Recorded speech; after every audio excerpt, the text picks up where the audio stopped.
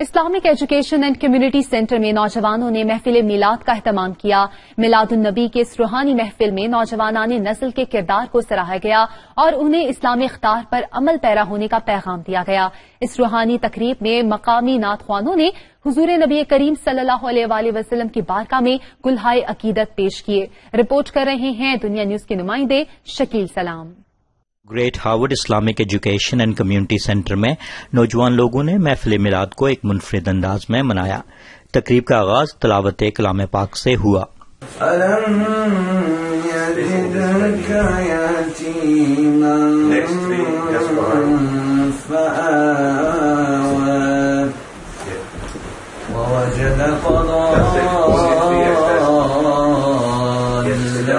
قاضی نوید رحمان نے اپنے خطاب میں میلاد النبی کی اس تقریب میں نوجوان نسل کا اہم کردار قابل تحسین قرار دیا۔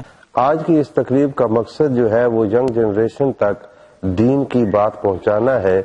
مسلمانان عالم کے لیے ضروری ہے کہ وہ جہاں بھی ہوں، اپنی تقریبات میں بھی اللہ اور اس کے رسول کو یاد رکھیں تاکہ دین و دنیا کی اور آخرت کی ہمیں کامیابیاں نصیب یہ تمام محافل جو ہیں یہ ہمیں بار بار یہ سبق سکھاتی ہیں کہ ہم مسلمان ہیں ہمارا کچھ فریضہ منصبی ہے جو ہمیں ادا کرنا ہے اور اپنی اولادوں تک پیغام عشق و محبت پہنچانا ہے۔ برطانیہ میں آباد تمام مسلمانوں کو میں یہ پیغام دینا چاہتا ہوں کہ تمام مسلمان اپنے آپ کو ایک مسلم امبیسڈر کے طور پر سمجھیں کہ ہم اسلام کے امبیسڈر ہیں اور اسلام کا پیغام ہمارے تھرو ان لوگوں تک پہنچنا ہے تو اس لیے اپنے اقدار اور اپنے اخلاق کا جو ہے اعلیٰ ثبوت دیا۔ نوجوان لوگوں کے لیے انگریزی میں خطاب کیا گیا اور انہیں اسلامی روایات پر عمل پیرا ہونے کا پیغام دیا گیا۔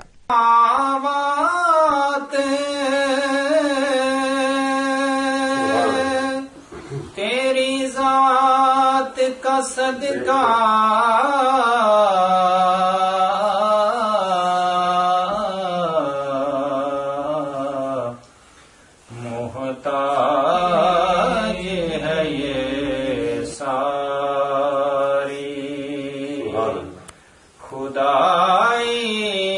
We should be doing mahfils like this on our birthday.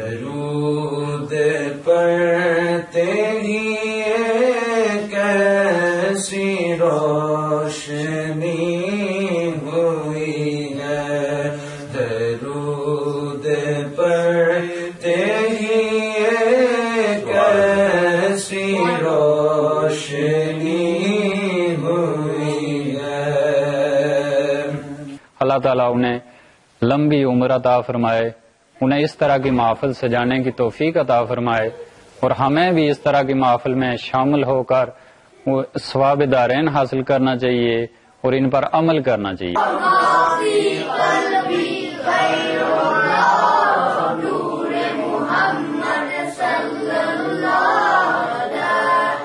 Today we celebrate Arundita's birthday. And alhamdulillah, we should be celebrating more birthdays like this, and we all enjoyed it. First of all, I would like to thank all the kids, and especially all of my ikram, for attending this program.